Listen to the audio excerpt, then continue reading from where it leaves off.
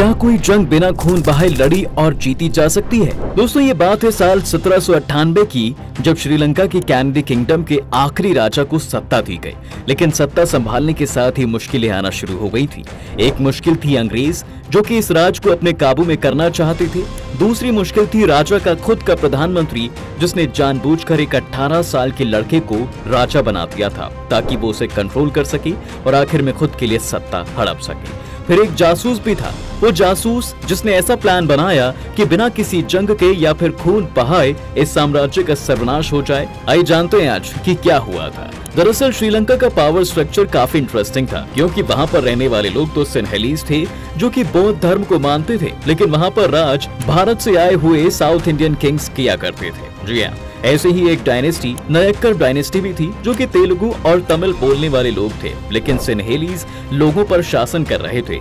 लेकिन इसके बावजूद भी उनके राज को बहुत समय तक चैलेंज नहीं किया गया। इसके बाद जब 1718 में एक नया राजा चुनने की बात आती है तो प्रधानमंत्री पिल्ली मथलवक, जो कि खुद सिन्हेलीज थे, उन्होंने सोचा कि सत्ता को हथियाने का इससे अच्छा मौका शायद उन्हें फिर न मिल पाए। और इसलिए उन्होंने 18 साल के प्रिंस कन्नासामी नायडू को गद्दी पर बैठा दिया। और राजा बनने के बाद कन्नासामी ने अपना नाम बदल कर रख लिया था श्री विक्रमा राज सिन्हा। अब विक्रमाराज सिन्हा को राजा तो ये सोचकर बनाया गया था कि वो एक पपेट की तरह रहेगा, क्योंकि वो ज़्यादा पढ़ा लिखा भी नहीं था और न ही उसका अधिकार सत्ता पर बन पाता।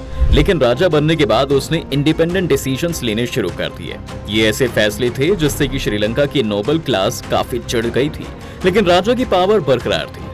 उसने डच ट्रेडर्स के साथ ट्रेड को भी बढ़ाया, जिससे कि राज्य की दौलत में भी काफ़ी इजाफा हुआ। और इन सबको देखते हुए जब प्रधानमंत्री पिली मथलवा को जब ये समझ में आया कि अब बात उसके कंट्रोल में नहीं रही है, जिस वजह से उसने अंग्रेज़ों को अप्रोच किया कि वो धीरे धीरे श्रीलंका के बाकी हिस्सों में खुद को मज़बूत कर रहे थे। यहाँ पर कुछ हिस्टोरियंस कहते हैं कि पहले प्रधानमंत्री और अंग्रेज़ों के बीच में समझौता हो गया था और उसके बाद अंग्रेज़ों ने 1803 में कैंडी पर हमला कर दिया था। और कई जगहों पर यह कहा जाता है दोस्तों कि प्रधानमंत्री ने राजा को अंग्रेज़ों के खिलाफ उकसाया ताकि वो उनके खिलाफ जंग कर सके। खैर, जो भी रहा हो 1803 के युद्ध में हुआ ये कि अंग्रेज़ों को करारी हार मिलती है और वो कैंडी के गुरिल्ला वॉरफेयर के आगे नहीं टिक पाए।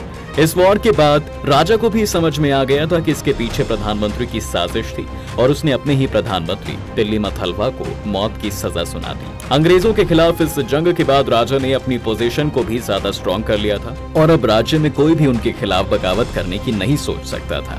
ये बात अंग्रेज़ों को भी पता थी कि ट्रेडिशनल वॉरफेयर से कुछ नहीं होगा, जिस वजह से उन्हें एक दूसरी स्ट्रैटेजी अपनानी थी और इसके लिए उन्होंने मदद ली जॉन डी ऑयली की। जॉन एक ब्रिटिश सिविल सर्वेंट था, जो उस वक्त श्रीलंका में ही पोस्टेड था, और जॉन की सबसे बड़ी खूबी ये थी कि वो सिन्हेली भाषा न सिर्फ़ जानता था, बल्कि उसे ये भाषा इतनी पसंद थी कि उसने इसमें कई कविताएँ भी लिखी थी। यही वजह थी दोस्तों कि जॉन को चीफ ट्रांसलेटर की पोस्ट दे दी गई, लेकिन दरअसल ये तो सिर्फ़ दिखावा था। उसका असली काम तो एक जासूसी की तरह ये फिगर आउट करना था कि किस तरह से वो राजा को हरा सकते हैं।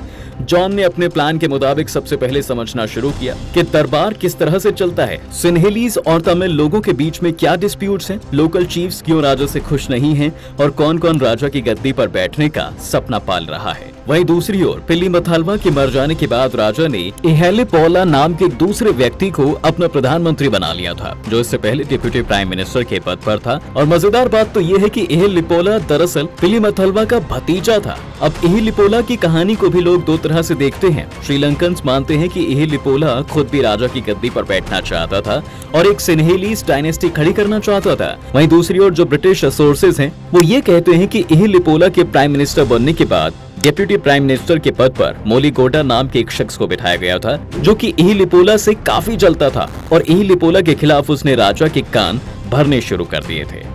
ऐसा भी मुमकिन है कि ब्रिटिश सोर्सेज ने जानबूझकर इस तरह की स्टोरी गढ़ी हो, क्योंकि जॉन डी ऑयली इस बीच में सिर्फ़ राज्य की कमजोरियों को ही नहीं समझ रहा था, बल्कि उसने अफवाहों का एक ऐसा तंत्र खड़ा कर दिया था कि फिर चाहे वो दरबार के नॉबल्स हो या आम लोग, सभी के मन में राजा की छवि बदलती जा रही थी। जॉन ने पब्लिक में ये बात फैला दी कि राजा सिन्हेला कल्चर का दुश्मन है। इसके साथ साथ वो एक अयाश है, जो कई औरतों को अपने पास रखता है और सारा दिन नशे में चूर रहता है। अब ये मुमकिन है कि इन क्लेम्स में थोड़ी बहुत सच्चाई भी रही हो। लेकिन जॉन ने इन्हें इतना बड़ा चढ़ाकर बताना शुरू कर दिया था कि लोगों का भरोसा राजा पर से उठता जा रहा था और फिर अचानक से कुछ ऐसा हुआ कि एकदम से जनता सिहर गई। राजा को यह मालूम चला कि इह लिपोला उसके खिलाफ षड्यंत्र रच रहा है। और उसकी गद्दी को हथियाना चाहता है, जिस वजह से उसने इहिलिपोला को तुरंत ही अपने दरबार में तलब किया, लेकिन वो इतना डर गया था कि वो कहीं छुपकर बैठ गया और नहीं आया।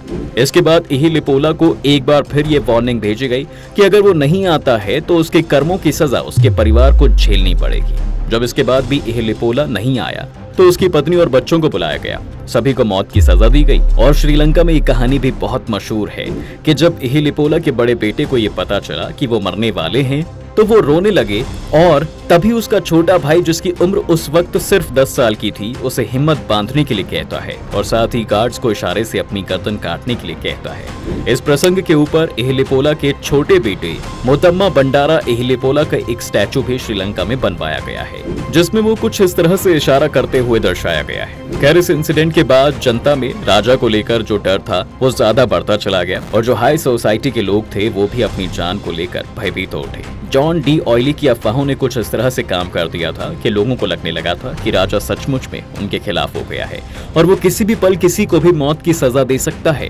इसी मौके का फ़ायदा उठाकर अंग्रेज़ों की सेना ने इस बार फिर से कैंडी पर अटैक किया, लेकिन इस बार राजा के पास लड़ने के लिए कोई नहीं था, क्योंकि उसके सभी मंत्री और यहाँ तक कि उसकी ज़्यादातर सेना भी राजा के खिलाफ हो चुकी थी। इसलिए राजा के पास वहाँ से भागने के अलावा कोई ऑप्शन नहीं बचा था।